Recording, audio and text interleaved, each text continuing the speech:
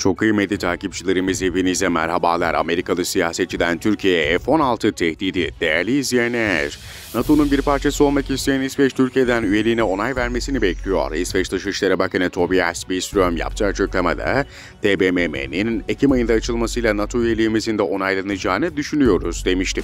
Stockholm'u ziyaret ederek Billström'le görüşen ABD Temsilciler Meclisi üyesi Michael McCall, İskandinav ülkesine destek mesajı verirken Türkiye'ye hedef aldı.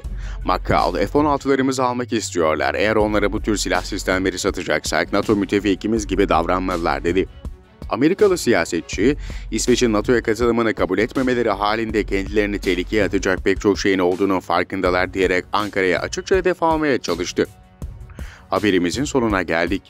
Sizlerden kanalımıza abone olmanızı, videolarımızı beğenmenizi ve nokta dahi olsa yorum bırakmanızı rica ediyoruz. Bir sonraki haberde buluşmak üzere, hoşçakalın.